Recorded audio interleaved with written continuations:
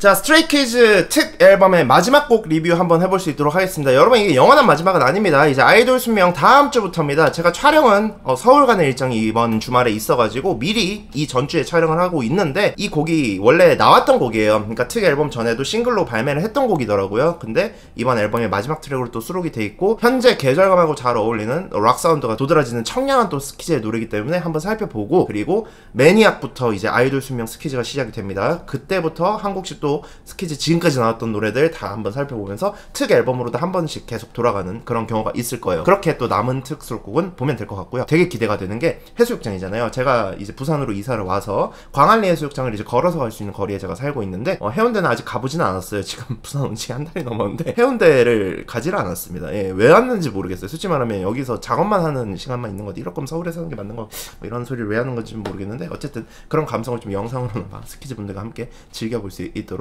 할게요. 할게요. 좋습니다. 굉장히 기대가 되는 곡이고 이번 노래는 Time Out이라는 노래입니다. 말씀드렸다시피 2022년 작년 8월 1일 날 이미 싱글로 mixtape이라는 걔가 mixtape이 아니죠, 저게. 앨범 제목이 그냥 mixtape인 거고 앨범 자체는 싱글 앨범으로 알고 있습니다. 저희가 다 같이 휴가를 갔을 때 동해에서의 행복한 시간과 아무 걱정 없이 마냥 웃으며 즐거웠던 순간을 생각하며 만든 노래라고 하고요. 스리라차 세 분이 모두 작곡을 한 노래입니다. 편곡은 방찬님이 하셨고 여름 바다처럼 시원한 락 장르의 Time Out이라는 제목처럼 고민과 걱정은 멀리 던져버리고 살랑이는 바람 따라 함께 떠나자는 메시지를 담아봤다고 합니다. 스키즈만의 신나는 곡을 우리 스테이에게 선물하고요. 언제나 우리 곁에서 커다란 행복과 의미를 선물해주는 스테이 생일 축하해라고 합니다. 이 생일이 근데 스테이 분들의 그건가요? 팬클럽 개설된 날짜를 말하는 건가요? 어 굉장히 그래서 기대를 듭니다. 팬분들을 또 위한 마음도 있는 것 같고 바닷가를 보면서 지금 딱 해야 돼요. 이 노래 여러분들께서 댓글로 많은 분들이 추천해 주셨는데 지금 계절감이 잘 맞는 노래이기 때문에 동해바다긴 합니다. 한번 보고 오도록 할게요.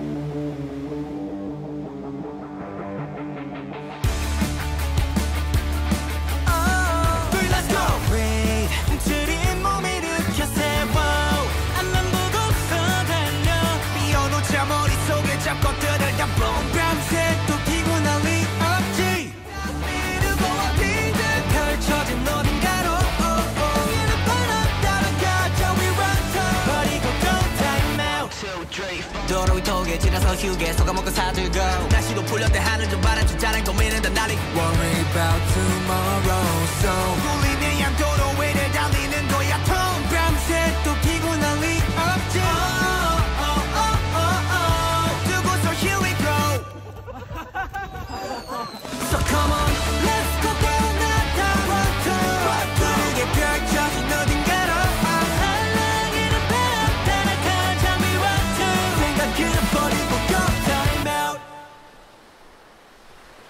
어, 네, 되게 잘 봤습니다. 시원해집니다. 지금 안 그래도 이제 비가 계속 오다가 좀 그쳐서 며칠째 지금 그쳐 있거든요. 제가 내일 서울 가요. 오늘이 7월 21일입니다. 사실 촬영하고 있는 날짜는 21일인데 되게 더워요. 지금 폭염이 다시 또 시작이 되잖아요. 서울도 지금 폭염이라고 하는데 비가 또 그치고 나서 더 덥잖아요. 그 딱 더위를 식혀주는 어, 좀 그런 영상이지 않았나라는 생각이 듭니다. 되게 하이틴적인 느낌이 많이 나가지고 저 예전에 상속자들 드라마 되게 많이 봤었거든요. 혹시 너무 여러분들하고 세대 차이인가? 그 10년 전이긴 하네요. 상속자들이 벌써 10년 전이냐. 어찌됐든 간에. 거기 이제 나왔던 OST 혹시 아는 분, 그 마리아 말고, 이용기 님이 불렀던 그, 너만 보인단 말이야. 그거 말고, 다른 트랙 수록곡 중에서, OST 중에서, oh, Whenever you call me, you call me, 빠빠라빠라빠 하는 노래가 있어요. 좀 그런 느낌이 나요, 이 노래가. 그, OST도 상속자의 드라마에서 이제 이민호 님이 저런 이제 해수욕장 바다에서 서핑하면서 그 노래가 딱 나오거든요. 어, 그래서 되게 분위기가 잘 어울리고 그 노래도 이제 락 밴드 노래입니다. 어, 그러다 보니까 좀 그런 느낌, 하이틴적인 느낌이 되게 강하게 나는 청량한 노래이지 않나라는 생각이 듭니다. 저는 이거는 그냥 예측인 건데 틀리면 틀리다고 말씀해 주세요. JYP에 밴드가 많아요. Xdinary Heroes도 있고 그리고 데이식스가 JYP 맞죠? 그 N.Flying은 FNC죠. 그 밴드들이 JYP 있잖아요. 그래서 물론 작곡을 이제 3RACHA님께서 하신 건데 같은 소속사고 아무래도 이번에 좀 밴드 음악, 밴드 사운드가 되게 도드라지는 음악을 할 거니까 원래 또 잘하시긴 하겠지만은 이런 느낌은 아무래도 엑스디너 Xdinary Heroes나 Xdinary Heroes는 근데 이때 당시에 완전 신인이긴 했었죠. 이때 막 데뷔하지 않았었나요? 근데 뭐 이렇게 같이 뭐 물어보고 이랬을 것 같기는 해요. 기타 톤 어떻게 잡는 게 좀 더 청량하게 나올 수 있을까 이런 식으로 친할 거 아니에요. 그러니까 안 친하더라도 막 안면은 있을 거니까 스리라차 분들께서 좀 물어보지도 않았을까. 그런 게 저는 만약에 맞다면 이 예상이 맞다면 뭐 데이식스든 엑스디너리 히어로스든 데이식스는 되게 오래됐잖아요. 맞다면은 이거는 기획사 안에서 되게 아티스트 간의 관계가 좋아지는 거 그걸 얘기하는 게 아니고 서로 음악적으로 시너지 효과를 낼 수 있는 거에 대해서는 도움 받을 것도 도움 받고 나중에 또 스키즈가 Xdinary Heroes나 뭐 DAY6한테도 도움을 주고 음악적으로 되게 좋은 그런 거지 않을까. 왜냐면 Xdinary Heroes나 뭐 DAY6 분들은 밴드다 보니까 아마 자 작곡을 다 하실 겁니다. 작곡을 다 하실 수 있는 분들이고 Stray Kids도 작곡을 할 수 있는 팀이기 때문에 그런 부분에서 되게 좋은 효과가 나지 않았을까 라는 생각이 들어요. 뭐 좌우지간 그건 그거고 이 노래 기타가 여러분 두 대가 들어가 있고요. 두 대예요, 두 대. 어, 기타가 두 대. backing이 하나 있고 lead 기타가 한음 한음 이렇게 melodical한 진행을 또 해주기도 합니다. 근데 기타가 하나 더 들어가는 것 같은데 기타 기타 세 개일 수도 있어요. 이거는 확실하진 않은데 제가 얼핏 들었을 때는 왜냐면 backing이 backing 기타가 뒤에서 두두두두두두두 이렇게 코드 잡고 이렇게 스트로크 해주는 게 두 개의 기타처럼 들리게 할 수도 있거든요. 제가 기타리스트는 아니다 보니까 좌우지간 좀 그런 입체감, 어 입체감이죠. 입체감이 되게 잘 드러났다.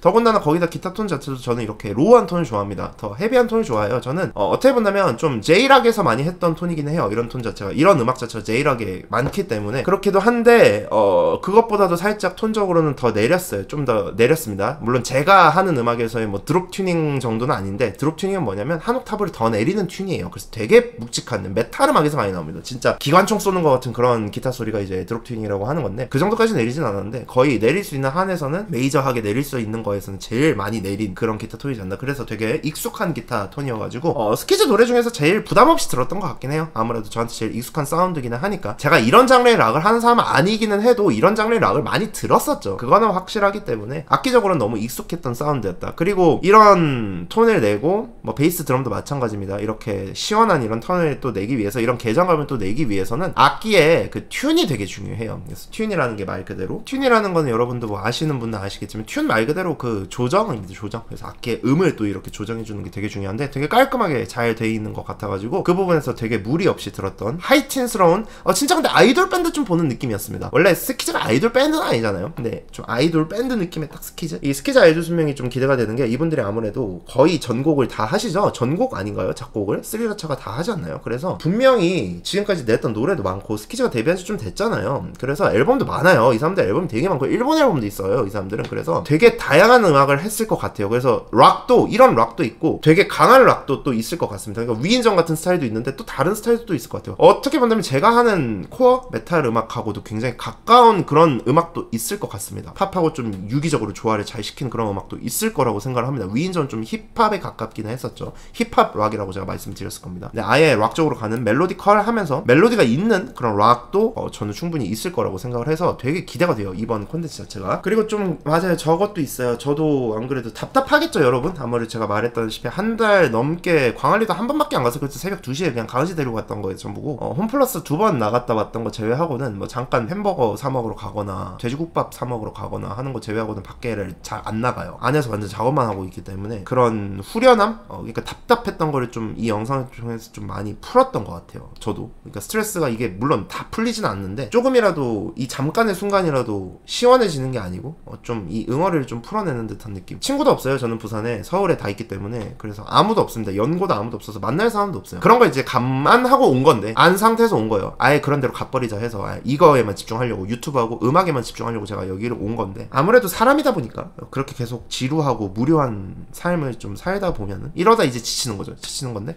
그걸 좀 풀어주셔서 물론 스테이 분들을 위해서 또 이렇게 하신 거지만 저한테 또 다른 한편의 위로가 되는 노래이지 않았나라는 생각이 들어요. 이 락 사운드 자체에 대해서는 앞으로 또 얘기를 더 할 게 많을 것 같습니다. 되게 이제 funky하기도 하고 쾌활하고 유쾌하고 서로 물총도 쏘고 아니 특이해서 막 한강의 기적 하면서 막 이랬던 사람들이 막 물총 쏘고 막 이러니까 너무 좋네요. 보기 좋네요. 원래 이 나이 때 이제 제일 하고 싶은 거는 뭐 이런 거 하고 싶겠어요. 솔직히 말하면 스키즈가 뭐 밖에 나가서 친구들이랑 놀 때 막야 뼈래 뼈래 뼈래 뼈래 그런 거 싶겠습니까? 솔직히 말하면 밖에 나가서 친구들하고 막 해수욕장 가서 막 물총도 쏘고 이러고 싶을 나이잖아요. 저도 그걸 알고 있고 저도 아직 제 나이 때도 아직 그러고 싶은 나이인데 그게 이제 아무래도 스키즈 분들도 되게 바쁜 스케줄 속에서 이 촬영이긴 했겠지만은 이때 당시가 휴가 같았을 것 같아요. 그래서 스트레이키즈 분들이 이렇게 웃고 이 촬영을 한 게 너무 진짜 진심 같아 보여가지고 오히려 더 와닿지 않았나. 저한테도 더 이제 대리 만족이 되지 않았나 그런 것 때문에라도 어, 그런 좀 느낌이 드는 뮤직비디오 되게 좋았던 뮤직비디오인 것 같습니다. 스키즈가 좀 뮤직비디오 좋은 게 많네요. 좋습니다.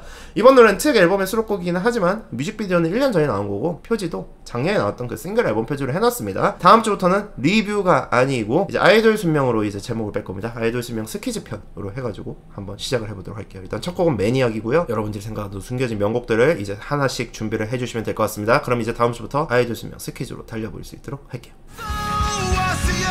To